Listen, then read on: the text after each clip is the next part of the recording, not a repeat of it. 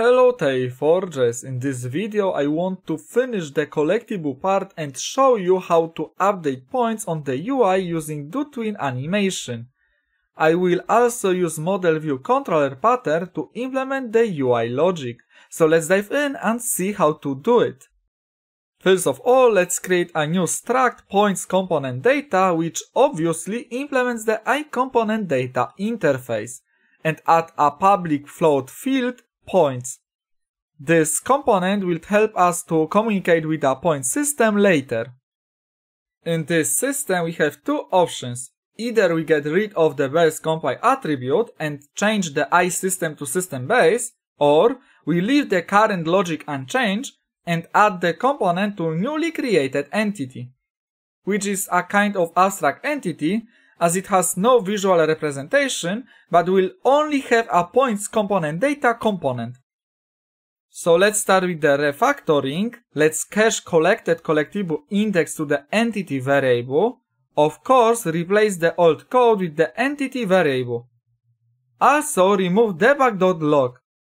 Now we can write var points entity equals state.entitymanager.createEntity this method will create an empty entity, so we need to add a component data, pass points entity and create new points component data.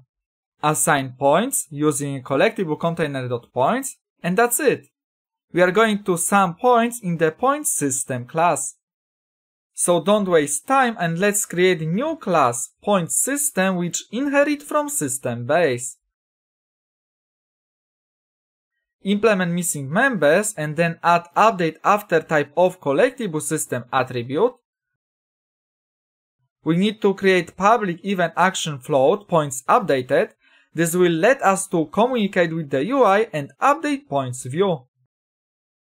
Next, let's prepare three member variables. Private entity query, points entity query, private level system level system, and private float, points. I will use them in a moment. It's time to implement onCreate method. Inside it, let's write points entity query equals system API.query builder with all points component data and of course build. Logic requires two things, resetting points and adding them. So let's start with the easier case, resetting points. Let's add onStartRunning method in which we can cache level system so we are able to subscribe to level loaded event and reset points. Also create onStopRunning method in which we can unsubscribe from level loaded event. Then let's implement new method on level loaded and inside it set points to 0. Let's invoke points update events and pass points. Great, now we want to handle on update method, so let's get data from entity query, points entities, and points component data array, both with allocator.temp. At the end of the method, call dispose. Next, let's implement for loop in range from 0 to points component data array dot length. We can cache single points entity and component data. Now let's sum up the points and destroy entity, we don't need it anymore. Don't forget to call points updated dot invoke points, we want the UI to be updated, right? I have decided to showcase the DoTween package a little as the package has both a free and paid version, providing a ton of useful UI animation tools. So let's go to the package manager, my assets and download the package. If you haven't added a package yet, go to the asset store and add a DoTween. And the package will appear here. Once you have downloaded the package, you can import it and wait for the process to finish. Finally, we can set up the DoTween package, so let's select Setup and check TextMesh Pro in the modules. Confirm and let Unity propagate the changes. Ok, go back to Rider. First of all, let's create three classes. points controller, points model, and points view. I want to implement a MVC pattern which allows me to split logic from view and data. Controller manipulates model, update data, and update view, presentation. View knows about model, get data, and model doesn't know about other classes. Okay, so let's start with the points controller.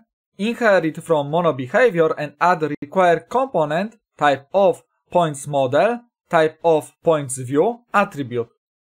So when I add the controller component via the Unity editor, it will also add points model and points view.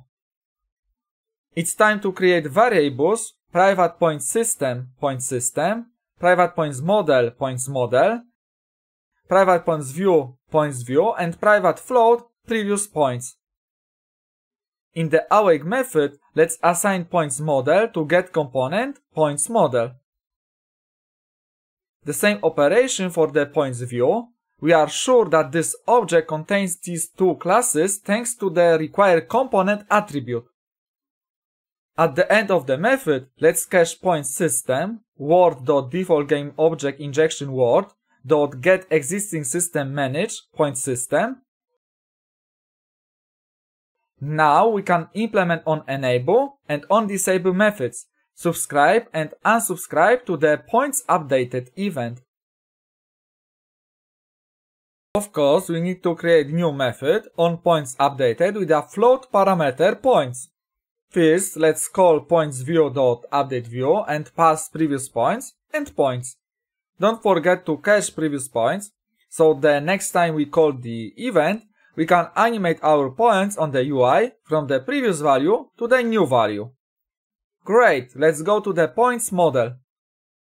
In this class we want to store data, so let's create two serialized fields.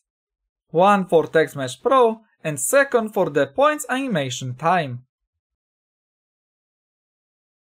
Obviously, we want to create getters so controller or view can get data. So let's implement pointsView class, which must inherit from monoBehavior and have the required component type of pointsModel attribute.